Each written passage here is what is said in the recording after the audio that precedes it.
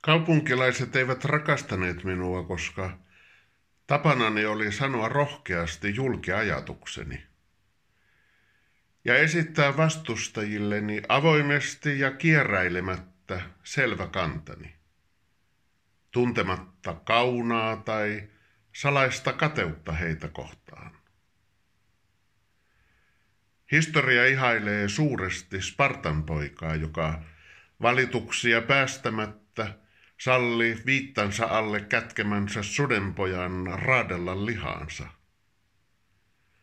Kuitenkin on mielestäni uljampaa kiskoa susi esiin ja taistella sen kanssa, pölyn tuprutessa ja tuskan huutojen kaikuessa avoimesti, vaikka kadulla.